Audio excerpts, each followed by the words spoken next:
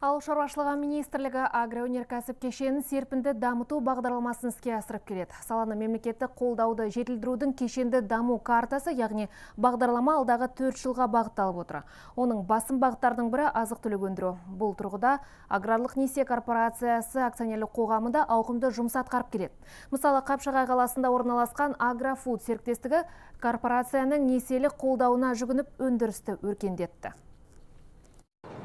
Агрофуд серіктестігі елімізде мал азығын әзірлейтін ірі өндіріс орны. Екі жыл бұрын мекеме аграрлық несие корпорациясы арқылы 3 миллиард теңге қаржы алып зауыт жұмысын жаңартты. Өндіріс орны сағатына 10 тонна дайын өнім шығарады. Ал бір күнде 240 тонна жем әзірлеуге қауқарлы. Өндіріс қуаты бүгінге артайын деп отыр.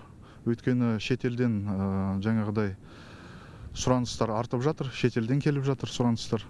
Жаңа толығымен алматы облысы алматы облысын жеммен қамтамасыз етуге әл ауқатымыз бар. Қазірдің өзінде ауғанстан мен өзбекстаннан сұраныс бар. Жалпы серіктестік жұмысына серпін берген несиелік корпорация биыл алматы облысындағы фермерлер мен шаруаларды қолдау үшін 16 миллиард қаржы бөлді. Жалпы ә, жылдан бастап ә, аграрлық несие корпорациясы тарапынан алты мың агроөнеркәсіп субъектілеріне екі жүз миллиардқа жуық қаражат бөлінген. Жылдан жылға аграрлық несие корпорациясы тарапынан алып жатқан несиелер саны де шаруа қожалықтарының саны да әрине өсіп жатыр.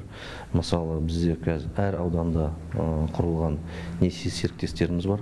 Аграрлық несие корпорациясында жеті түрлі несиелеу бағдарламасы бар. Ол агротехника алуға экспорт көлемін арттыруға жәрдемдесу агробизнес пен агрокоммерция яғни мал өсімдік шаруашылығы өнімдерін өндіру мен өңдеуді қаржыландыру. Қорыта айтқанда корпорацияның мақсаты шаруаларға агроөнеркәсіптік кешенді дамытуға арналған қолжетімді несие алуына көмектеседі.